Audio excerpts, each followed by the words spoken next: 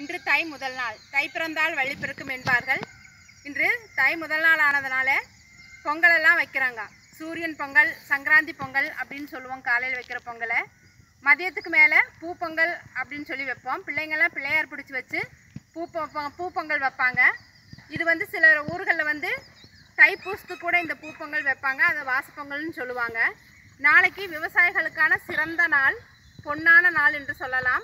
அதுதான் மாட்டுப் பொங்கல். ஆடு மாடு வைத்திருப்பவர்கள் மாட்டுப்பொங்கல் வைப்பார்கள். இவர்கள் தான் நம்மளுக்கு உணவளிக்கக்கூடிய விவசாயிகள். ஏன்னா நான் அந்த பாரம்பரியத்தில் வந்தவதான். அவங்களோட கஷ்ட நஷ்டங்கள் எனக்கும் தெரியும்.